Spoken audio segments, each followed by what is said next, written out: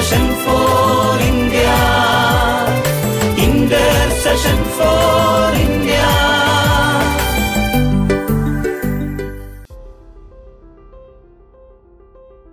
വിശുദ്ധ അലോയ്സിയൂസ് ഗോൺസാഗ പതിനാറാം നൂറ്റാണ്ടിൽ ഇറ്റലിയിലായിരുന്നു വിശുദ്ധൻ വളർന്നു വന്നത് ഇറ്റലിയിലെ ആ കാലഘട്ടം ജനങ്ങൾ വളരെയേറെ അശ്രദ്ധരും ധാർമ്മികമായി അധപതിച്ച നിലയിലും ഭോഗാസക്തിയിലും മുഴുകി ജീവിച്ചിരുന്ന നിലയിലായിരുന്നു. തനിക്ക് ചുറ്റുമുള്ള പാവാവസ്ഥ അലോയിസിയൂസ് കാണുകയും അതിൽ മനം മടുത്ത വിശുദ്ധൻ താൻ ഒരിക്കലും അതിൽ പങ്കുചേരുകയില്ല എന്ന് തീരുമാനമെടുക്കുകയും ചെയ്തു. ഒരു കുലീന കുടുംബത്തിലായിരുന്നു ജന്മമെന്നതിനാൽ വിനോദങ്ങൾക്കായി അവന് ധാരാളം അവസരങ്ങൾ ഉണ്ടായിരുന്നു. കുതിര സവാരിയും കൊട്ടാരത്തിലെ പൂന്തോട്ടത്തിൽ നടത്തിയിരുന്ന വലിയ വിരുന്നുകളും അലോയിസിയൂസിന് വളരെയധികം ഇഷ്ടമായിരുന്നു. എന്നാൽ സദാചാരത്തിന് വിരുദ്ധമായ ആഘോഷ രീതികളാണെന്ന് കണ്ടാൽ വിശുദ്ധൻ ഉടൻ തന്നെ അവിടം വിടുമായിരുന്നു. നല്ല വ്യക്തിത്വത്തിന് ഉടമയായിരിക്കുക എന്നത് മാത്രമായിരുന്നില്ല അലോയ്സിയൂസിന്റെ ആഗ്രഹം ഒരു വിശുദ്ധനായി തീരുവാൻ കൂടി അവൻ ആഗ്രഹിച്ചിരുന്നു.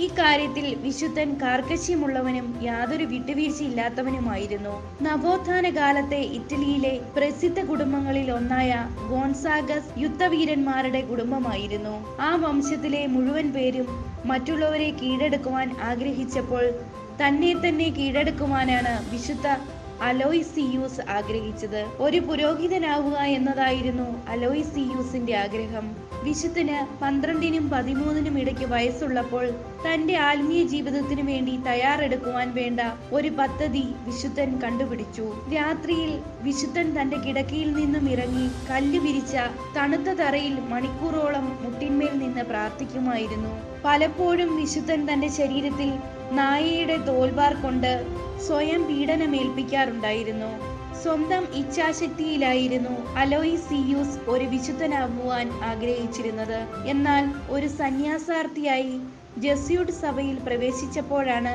വിശുദ്ധന് ഒരു ആത്മീയ നിയന്താവിനെ ലഭിച്ചത്. വിശുദ്ധ റോബർട്ട് ബെല്ലാർമിൻ ആയിരുന്നു വിശുദ്ധന്റെ ആത്മീയ മാർഗദർശി.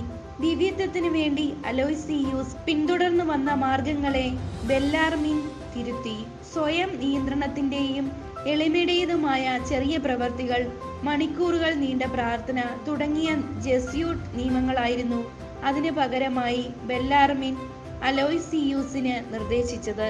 വിശുദ്ധന്റെ അത്യാവേശം ബെല്ലാർമിനെ പ്രകോപിപ്പിച്ചുവെങ്കിലും അലോയ്സിയൂസിന്റെ ഭക്തി വ്യാജമല്ലെന്നും ശരിയായ മാർഗനിർദ്ദേശം നൽകിയാൽ അവൻ ഒരു വിശുദ്ധനായി തീരുമെന്നും അദ്ദേഹത്തിന് അറിയാമായിരുന്നു. തന്റെ മർക്കടമുഷ്ടി ഒരു പ്രശ്നമാണെന്ന കാര്യം അലോയ്സിയൂസ് മനസ്സിലാക്കി. ഒരിക്കൽ തന്റെ സഹോദരന് അവൻ ഇപ്രകാരം എഴുതുകയുണ്ടായി. ഞാൻ അല്പം വളഞ്ഞ ഒരു ഇരുമ്പ് കഷ്ണമാണ്. ഈ വളവ് നേരെയാക്കുവാനാണ് ഞാൻ ആത്മീയ ജീവിതത്തിലേക്ക് പ്രവേശിച്ചത്. ആയിരത്തി അഞ്ഞൂറ്റി തൊണ്ണൂറ്റൊന്ന് ജനുവരിയിൽ റോമിൽ ശക്തമായ പ്ലേഗ് ബാധയുണ്ടായി നഗരത്തിലെ ആശുപത്രികൾ മുഴുവൻ പ്ലേഗ് ബാധിതരെ കൊണ്ട് നിറഞ്ഞു. ജസ്യൂട്ട് സഭക്കാർ തങ്ങളുടെ മുഴുവൻ പുരോഹിതരെയും പുരോഹിതാർത്ഥികളെയും ആശുപത്രികളിൽ രോഗികളെ ശുശ്രൂഷിക്കുന്നതിനായി നിയോഗിച്ചു. അലോയ്സിയുസിനെ സംബന്ധിച്ചിടത്തോളം ഇതല്പം ബുദ്ധിമുട്ടുള്ള കാര്യമായിരുന്നു. എന്നാൽ രോഗികളെ പരിചരിച്ചു തുടങ്ങിയപ്പോൾ വിശുദ്ധന്റെ ഭയവും അറപ്പും സഹതാപമായി മാറി. അവൻ യാതൊരു മടിയും കൂടാതെ റോമിലെ തെരുവുകളിലേക്ക് ഇറങ്ങി തന്റെ സ്വന്തം ചുമലിൽ രോഗികളെയും മരിച്ചുകൊണ്ടിരിക്കുന്നവരെയും ആശുപത്രിയിൽ എത്തിച്ചു. അവൻ അവരെ വൃത്തിയാക്കുകയും അവർക്കായി കിടക്കകൾ കണ്ടെത്തുകയും അവർക്ക് ഭക്ഷണം നൽകുകയും ചെയ്തു.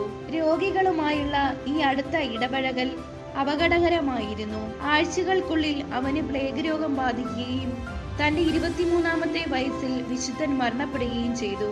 രോഗികളിലും നിസ്സഹായകരിലും മരണശയ്യയിൽ കിടക്കുന്നവരിലും വിശുദ്ധ അലോയ്സിയൂസ് ക്രൂശിതനായി യേശുവിനെ ദർശിച്ച് സ്വർഗീയ സമ്മാനത്തിന് അർഹനായി. കൗമാരക്കാരുടെ മധ്യസ്ഥൻ എന്ന നിലയിൽ വിശുദ്ധൻ ബഹുമാനിക്കപ്പെടുന്നു.